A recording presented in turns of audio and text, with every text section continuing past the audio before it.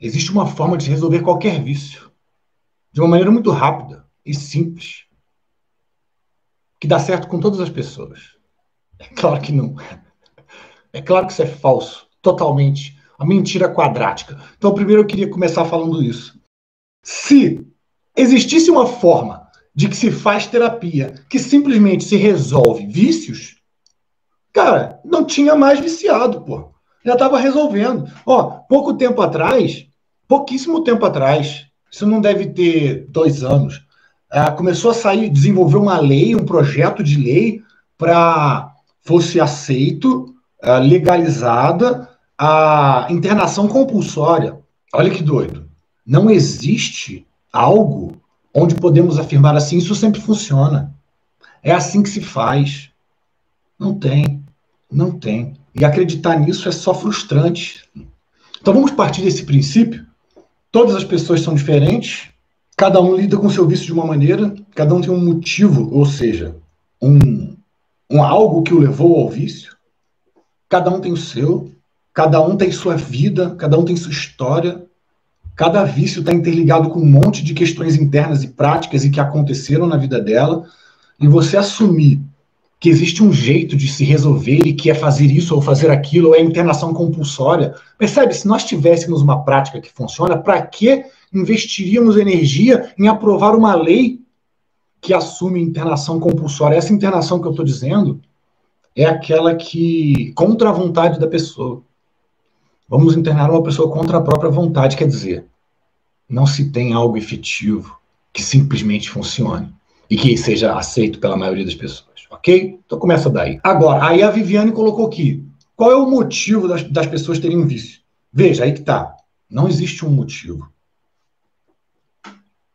Cada qual com seu cada qual. Igual o Ricardo colocou ali. Agora, algumas coisas são comuns. Por exemplo, uma época difícil, algo que eu não tenha recursos para lidar. É muito comum um vício vir como um recurso para lidar com algo que eu não estou conseguindo lidar. É possível ficar dependente em apenas dois meses? Uai, é possível ficar dependente em uma vez. A pessoa pode, sei lá, fumar um cigarro, e aí quando é que ele assume que ele é dependente? Se ele, do primeiro, foi o primeiro que desencadeou, então, como é que, como é que alguém vai assumir quando se inicia o vício? Se a pessoa não tem vontade de parar, fica mais difícil. É, é provável. É provável. É muito comum a, uma pessoa buscar as drogas. É muito comum um vício se iniciar em um momento complicado da vida, principalmente envolvendo relacionamentos. Ou seja, vamos entender isso de duas frentes. Vamos pegar esses exemplos aí, vamos pegar essas duas frentes. Um momento complicado ou quebra de relacionamento. Nós podemos entender que a, a, o vício vem como um recurso. Como assim, Werner? Bom, eu não consigo lidar com isso.